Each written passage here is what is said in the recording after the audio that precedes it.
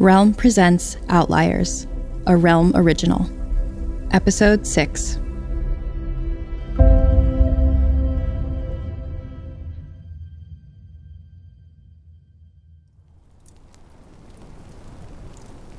At the conclusion of his monologue, his testament, I said nothing. I just left, walked out. The last image I had of him was of him sitting in his recliner wrapped in his Navajo blanket, chin thrust out in defiance, thin lips pinched together, his blue eyes as cold as an Arctic squall. Boy, he called after me, his voice almost gone. Boy, get your ass back in here. I kept going. I almost expected to feel the punch of a bullet in my back. But nothing happened. Across the compound, out of the gate, which I took care to lock behind me, I needed to get back to Girl. I naively wanted to believe that if he could just meet her, talk to her, that all would be well. That if only Doc could see she wasn't a monster, that all that he'd created wasn't foul and corrupt, that the three of us could peacefully reside together within the walls of the compound provided he never repeated the outlier's origin story. Not ever again, especially not the girl. What was done was done. What was gone was gone. There was no going back. Here and now was all we had. There were only the three of us left in the world. Absurd hope? Denial? I don't know. I just knew I couldn't leave him, no matter what he'd done. He was my father, my Da. Not my blood, but my family. He'd cared for me since before I could walk. He'd raised me as his own. He'd rescued me from certain death. Whoever he'd been, whatever he'd done, had mostly occurred before I was even born. Besides, he was too frail to survive on his own now. Maybe that's what all enablers or accomplices after the fact tell themselves before they look the other way. I don't know. I knew only one thing with absolute certainty. I wouldn't lose girl, no matter what I had to do. I'd traveled on foot for hours when doubt crept in like a cold blooded snake weaving its way into a woodpile. I started to fear that she would be gone, that she wouldn't have waited, that she would have fled, that she didn't care for me as I did for her. But when I burst over the hillock and plunged down towards the hot springs, sliding like an unfettered marionette in the scree, she was sitting on a rock near the carefully raked ashes of our campfire. She'd loaded the pack, strapped it up. She was ready to go. To go home with me, and to meet Da. Girl was all alone in the world, and she trusted me. Trusted me to keep her safe. I realized in that moment that I loved her. I prayed to God for the first time in my life. I prayed that the things I heard from Da's lips had been a fever dream from which I'd just woken up that the man I'd known my entire life, who cared for me like a son, who taught me everything I know, was not the author of the solution. He couldn't be. Girl didn't ask me what I'd said to Da or he to me. She didn't ask me anything about Da at all because she wanted to be surprised. Surprise to Girl was akin to delight. As we followed my trail in the snow, I caught her skipping across the ground a couple of times, skipping like a child, humming a tune under her breath smiling as wide as one of those yellow smiley face buttons I'd seen mounted on displays in abandoned gas station convenience stores. When she found a smooth stone, she would exclaim with a kind of joy I figured must be childlike. She set the rock in her slingshot and sent it whizzing into the sky like a meteor. Good one, I'd say, and we'd both laugh. When I first saw her in the woods, I figured we were close in age. Now I reckoned she must be younger than I was. Not by much. She had the body of a young woman in the way I had the body of a young man. Not man and woman yet, but almost. Whenever we could, we walked side by side, holding hands. I carried both packs on my back. Despite her small physique, she was strong. Wiry strong. She could have carried one of the packs, but the weight kept me focused. Focused on what was yet to come. I intended to have her walk behind me, so that Da would have to shoot me to get a shot at her. I should have taken one of the guns with me, but I hadn't thought ahead. That wasn't like me, under normal circumstances. But these weren't normal circumstances. I had my bow and quiver of arrows if I needed to defend myself. To defend her. I tugged off my gloves and stuffed them in the pocket of my coat, just in case, so my bowstring fingers would be free. But I prayed, again, that it wouldn't come to that. A cacophony of barking greeted us as we emerged from the trees. As we approached the gate, The dogs came trotting towards us, tails wagging tentatively. A few were low growling.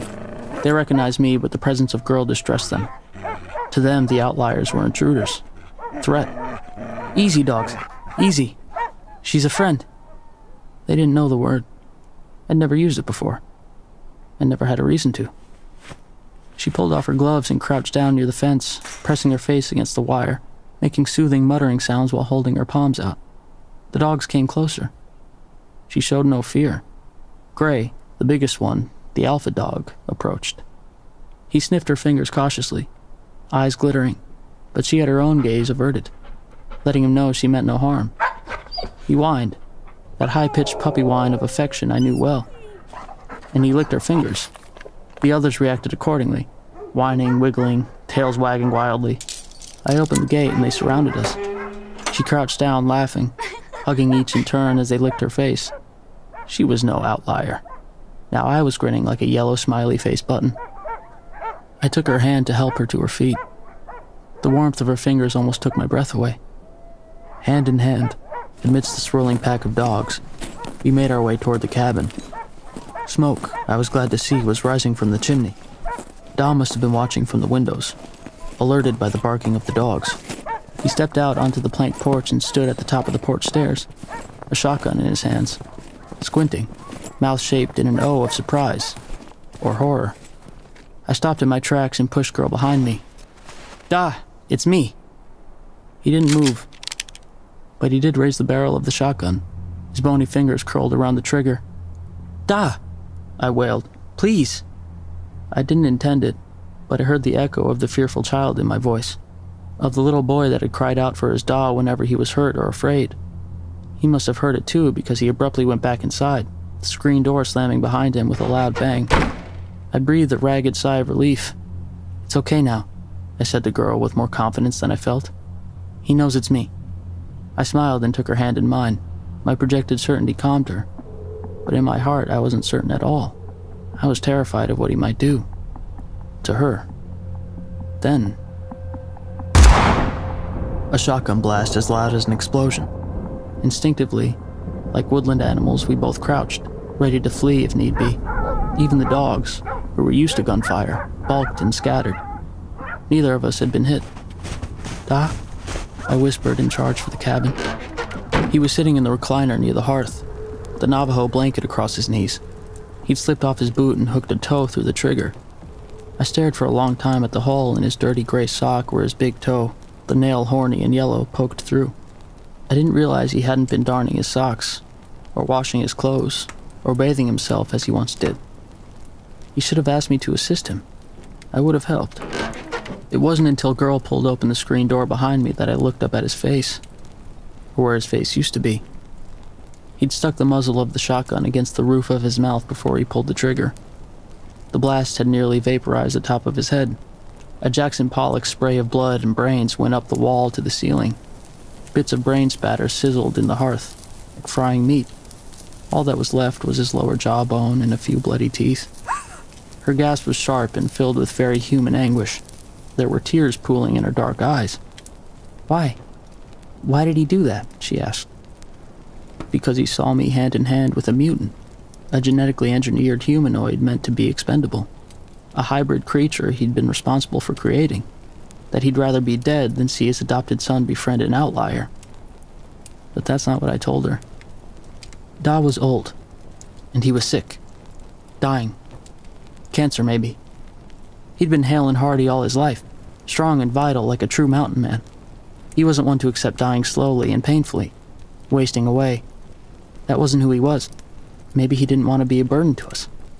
She nodded, tears spilling down her cheeks. She understood. Every word I said was true. I didn't lie to her, but I didn't tell her the whole truth. Nor would I. I didn't touch him, but I let the dogs see that he was dead. Dogs need to see, to smell, in order to understand what has happened. Gray lay on his belly and howled like a grieving wolf. The others whimpered and cowered. Girl helped me carry my belongings and a collection of essential household goods over to one of the Quonset huts. I left most of his old clothing but removed the guns. Da and I had built that cabin by hand, but I wouldn't sleep inside it ever again. Girl and I could build another cabin of our own, maybe closer to the creek so we could hear the sound of water gurgling past in the summertime. We cleared the ground 20 feet in diameter around the cabin before we torched it. Me, girl, and the dogs watched it burn, the flames rising 50 feet in the air at the pinnacle of the fire. And we watched until the cabin disintegrated to ash, a fitting funeral pyre, like a Viking in his longboat, incinerating into eternity. What remained, by the morning light, were a few support beams that rose into the sky like charred whalebone ribs. This chapter of my life is over, I thought. Girl and I didn't speak the entire time the fire burned, but she kept her small fingers pressed gently, reassuringly, against the nape of my neck. We caught a glimpse of the rising sun at the horizon at the moment it rose into the cloud banks and became a faded radiant orb.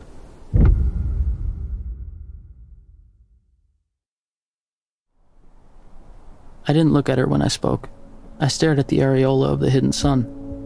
When spring comes around, I think we should go, I said. Travel south. See what or who is out there. I don't think we should stay on here. She agreed.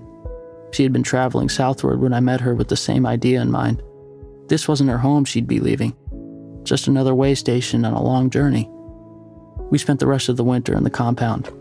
We slept in the bunkhouse with the dogs, sharing an upper cot, zipped together in a pair of sleeping bags, wrapped in each other's arms. We cooked together, did chores together, and read books from the Quonset hut library long into the evenings. We found a manual on American Sign Language and practiced signing so that we could speak silently to each other from across the compound. I love you, I signed. I love you too, answered her nimble fingers. We talked aloud for hours at a time, sharing experiences in our lives. We laughed a lot. I did anyway. She giggled like a girl, which she was. We took care to rake over the ashes where the cabin had been, creating a little hillock that we filled with dark, fertile soil. We seeded the ground. Long after we'd gone, grass would grow there. Wildflowers would too. A fitting burial mound. When spring came, we packed up what we could carry. I let all the domestic animals loose into the meadow the chickens, goats, sheep, pigs, and a small herd of cows, though I didn't know if they could survive on their own but I couldn't barricade them in the compound to starve. The dogs would be fine, I was certain. They were a pack. Their hunting skills were on par with those of wolves. Out of habit, I bolted all the Quonset huts and the bunkhouse and locked the perimeter gates behind us as we left.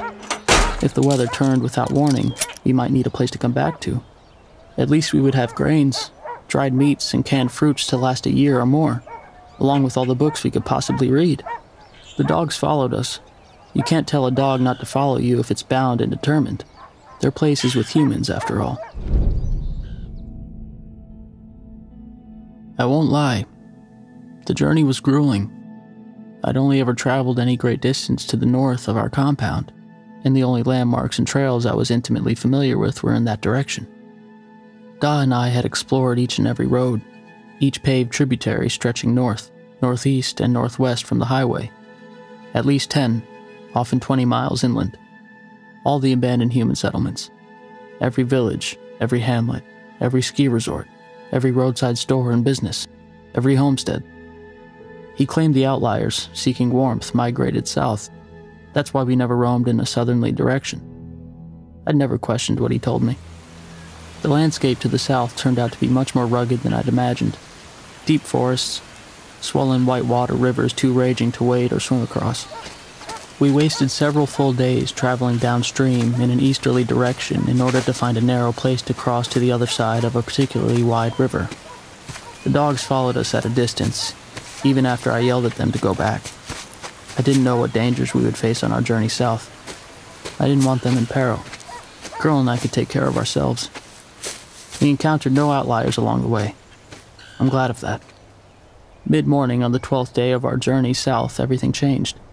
We'd been walking along an old dirt access road, probably blazed by the Forest Service a couple of decades ago, enjoying the rare warmth of a cloudless day when Girl stopped short.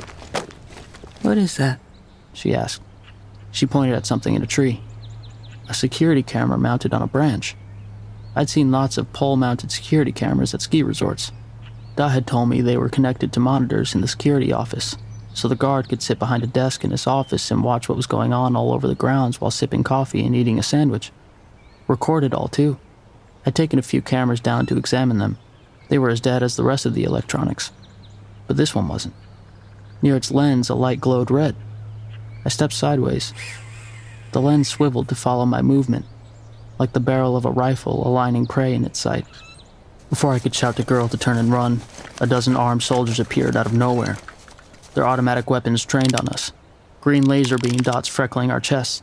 We froze. They were decked out head to toe in forest camo, with black bulletproof vests, helmets with tinted visors, and lace up combat boots. Besides their automatic rifles, they had handguns strapped to their upper thighs, not a sliver of bare skin showing. I couldn't be sure that they were human or not. The dogs, who had been following us a dozen yards back, barked a few times, then fled into the woods. Get down on your knees. Get down on your knees now. Humans, then. Like me. I didn't know which soldier was shouting at us. The voice was distorted through some sort of megaphone. I couldn't see any of their faces through their visors. I stepped in front of Girl as I slowly got down on my knees. She crouched down behind me. Don't shoot, I said calmly as I could. Please, she's with me. Don't shoot us. Place your fingers on the top of your head. Do it. Please. Shut up and comply. We will fire upon you both. We complied. They surrounded us in seconds. Four of them roughly lifted me off my feet and dropped me flat on the ground onto my belly, pinning all four of my limbs to the dirt, grinding my face into a pile of fallen leaves as two others tore off my pack, confiscated my quiver of arrows, and emptied my pockets. They took my bowie knife. They took my hunting rifle and my bow. Each time I tried to speak, one of them shoved my face back down to silence me. Up close, I saw they had oxygen packs on their backs, with hard rubber retractable hoses snaking into their helmets. Modified biohazard suits, I thought, designed specifically for military use. A small old glory flag patch decorated their shoulder sleeves. Americans, then. Like me. They zip tied my hands behind my back and hauled me to my feet. The hard plastic dug into my wrists, cutting off the blood flow so my fingers went numb in seconds. Then they zip tied my ankles together. Before I could protest, one soldier slipped a heavy clear plastic bag over my head and tightened it around my neck. The bag stuck to my wide open mouth. I couldn't breathe. I thought they intended to euthanize me right there on the access road. Then I heard a swishing sound, and the bag inflated with cool air, breathable oxygen. I could feel the hose pressing and squirming down my back, some kind of field oxygen tank system. I didn't need oxygen. The ambient air was breathable. Maybe they didn't know that. Or maybe they knew something I didn't. I shouted, but the heavy plastic bag over my face deadened any sound I made. Two soldiers lifted me half off my newly shackled feet and started dragging me up the road. I twisted and craned my neck in time to see Girl, pinned to the ground but squirming madly, her eyes trying to find mine, as one soldier injected her in the shoulder with a syringe gun. She arched her back, then stopped moving. They slipped an oxygen mask over her face and lifted her into a heavy canvas bag, which they zipped up. On the side was stenciled Live specimen. Warning. Biohazard. At least it said live.